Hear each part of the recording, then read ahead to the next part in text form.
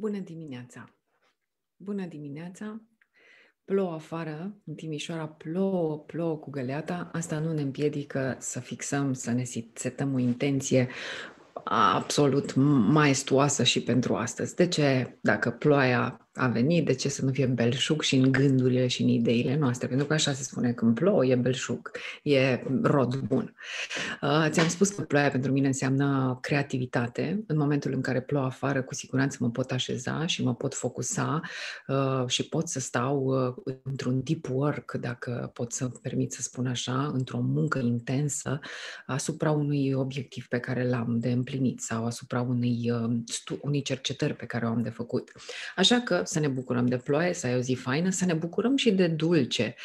Uh, cu siguranță v-ați întrebat și voi ce se întâmplă pe grup. Cei care au intrat noi în acest grup uh, s-au, s-au mirat de câte dulciuri, torturi și bunătăți pline de carbohidrați și papile gustative încântate avem.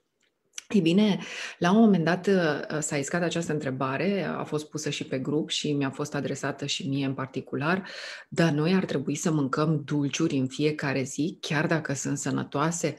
Foarte bună întrebare. Chiar așa, noi ar trebui să mâncăm în fiecare zi ceva dulce, chiar dacă e preparat într-un fel uh, în care am eliberat zahărul rafinat?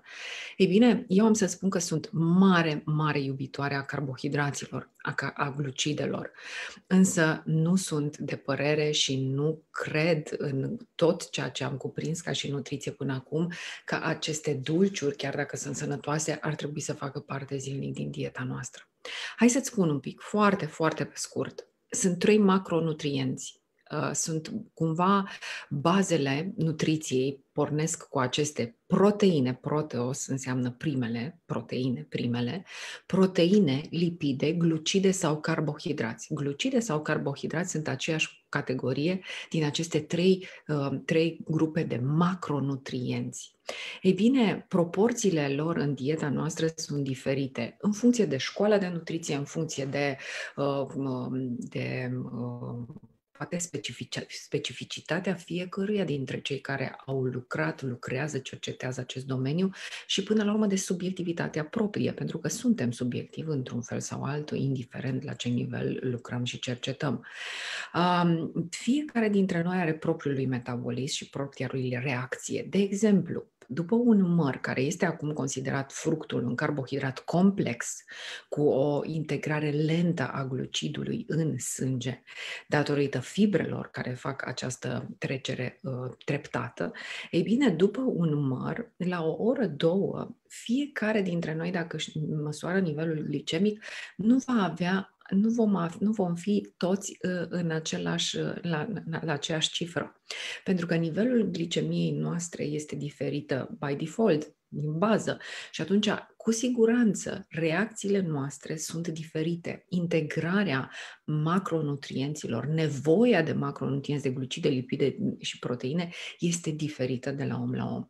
De asta este cumva nutriția, aș spune, aș spune intruzivă în momentul în care uh, ne permitem să spunem atâtea grame de proteine ai nevoie într-o zi sau de glucide sau de lipide, pentru că lucrurile astea sunt variate și sunt în funcție de sex, în funcție de capacitarea fizică, în funcție de uh, tipul de metabolism pe care îl ai. Ceea ce este foarte important și cu ce aș vrea să pornim astăzi, ziua 11, te felicit pentru uh, faptul că ești aici și faptul că ne conectăm și faptul că vrei să faci schimbări și faptul că vrei să fii uh, cumva mai bun în viața ta, ca sănătate, ca conectare, ca model pentru ceilalți, dacă vrei, um, uh, vreau să pleci cu acest gând. Macronutrienții, proteine, glucide, lipide, au nevoie să fie integrați în dieta ta într-un mod echilibrat. Nu o să mâncăm lipide, grăsimi la nivelul la care mâncăm uh, glucidele, însă ai nevoie din fiecare câte puțin. Astăzi vreau să te fac atent la, carbohid- să te fac atent la carbohidrat, glucidul, da?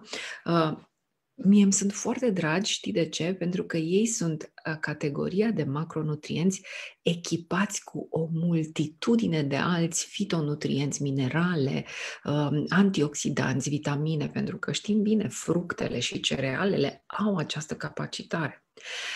Astfel, în fiecare zi trebuie să mănânci carbohidrați glucide, dar nu în fiecare zi trebuie să mănânci dulciuri sănătoase, chiar dacă sunt sănătoase. Dăm voie să le numesc dulciuri sănătoase.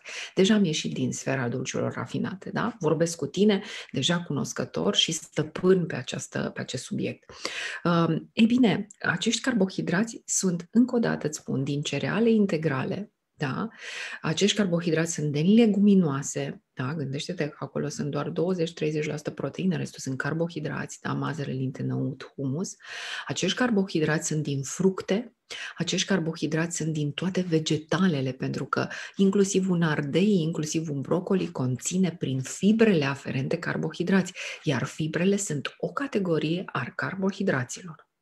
Este foarte important să te gândești că tu ai în fiecare zi carbohidrați dacă mănânci vegetale, dacă mănânci legume, dacă mănânci un fruct, două, trei, eu știu, dacă mănânci uh, uh o, o felie, două, trei de pâine, dacă mănânci uh, o mâncărică care conține fibre sau care conține, de exemplu, leguminoase, automat ai mâncat, ai servit, ai, ai în dotare carbohidrații, glucidele esențiale. Asta nu înseamnă că dacă vrei să faci, de exemplu, ce te voi învăța eu astăzi, niște biluțe Rafaelo, nu poți să mănânci una, două bucăți. Dar nu fă biluțe Rafaelo în fiecare zi. Fă-le doar o dată pe săptămână sau de două ori pe săptămână. Uh, vezi cum stai cu pofta de dulce și vezi cum poți să integrezi ceea ce ți-am spus acum. Tu ai dulce în fiecare zi prin carbohidrați. Ți-am spus unde îi găsești. Că vrei tu bonus? Ah, ok, merge bonus fără probleme până te dezveți de a avea nevoie de dulce like tasty în gură, adică pe bune, dulcele acela să-l simți în gură, da? Um, hai să-ți spun de niște biluțe, Rafaelo, da? Dăm voie să-ți arăt cartea 30 Days No Sugar, Puterea de a reuși împreună. Vă felicit pe toți cei care ați contribuit la scrierea acestei cărți. Mulțumesc, Irina Vasilescu, pentru că ai mai ajutat la editarea ei și editurii Floare de Iris, care a făcut posibil această, această carte. Uh, vreau să vreau să mai puțin să mut ceva aici pe, pe laptop. Vreau să citesc despre biluțele Rafaelo. Vreau eu să spun astăzi cum poți să faci niște biluțe Rafaelo care, de care să te bucuri. Fii atent, pentru aproximativ 15 biluțe, nici prea mari, nici prea mici.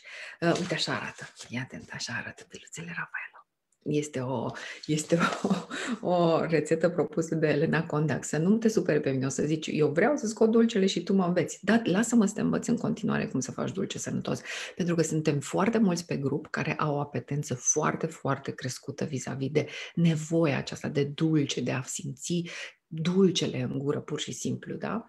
Uh, ieri te-am îndremnat să vezi când simți asta și de ce simți asta. Fii atent, pentru 15 biluțe Rafaelo ai nevoie de o treime cană, de ovă, uh, cană cu ovăz acoperit cu apă cât să-l cuprindă. Deci 1 pe 3 cană ovăz acoperit cu apă cât să-l cuprindă pentru a se hidrata cât pregătești restul ingredientelor, deci nu foarte mult. 6-8 curmale uscate, 10 dacă sunt foarte mici, iar dacă sunt prea uscate, ne spune Elena recomand să le lași în 5 minute în apă fierbinte.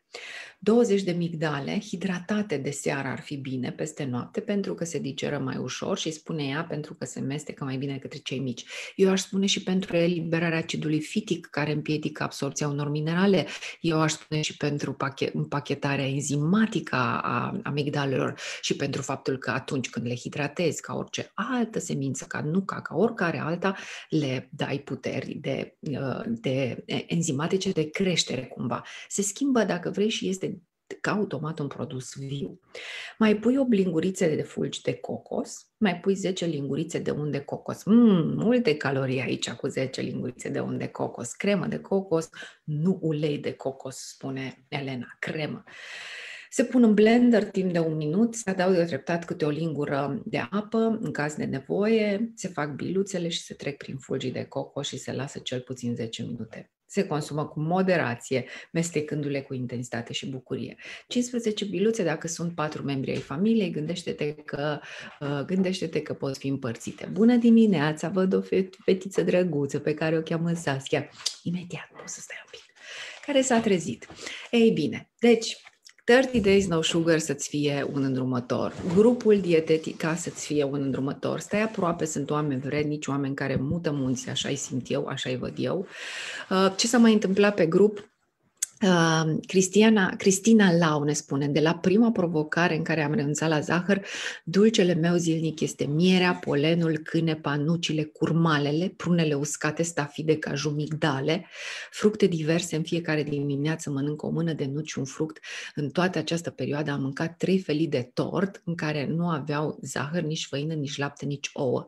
Am slăbit pam, pam, 20 de kilograme, ne spune, ne spune, uh, ne spune Liliana Andronic, îi spune asta Cristinei Lauda, Liliana Andronic. Liliana Andronic ne spune că a slăbit 20 de kilograme, că a ținut această 30 day no sugar, se simte excelent, de răstorn munții. Iată, exact așa spune. Am încetat să mai mănânc compulsiv, da, sunt recunoscătoare și eu, Liliana, pentru faptul că ești aici, pentru această inspirație, pentru faptul că de, în aprilie ai renunțat la zahăr și ai, ai ajuns la această performanță și la această călătorie minunată în care te-ai redescoperit, așa cum spui chiar tu. Uh, sunt uh, super bucuroasă, sunt onorată să fiu cu voi în fiecare dimineață. Partidele la Melbourne s-au amânat cu totul astăzi, nu mai joacă nimeni pentru că au, mm, s-au panicat pentru că au un, uh, un, un știți că în, în, în, în da, nu vreau să vorbesc despre asta. Partidele la Melbourne s-au amânat, astăzi nu joacă Simona, plouă afară, suntem creativi, uh, suntem, uh, suntem uh, atenți la noi, suntem atenți la ceilalți, să ne depășim prin cunoaștere și, și cultură și să ne dăruim prin iubire. Vă îmbrățișez, aveți o zi minunată. Felicitări tuturor!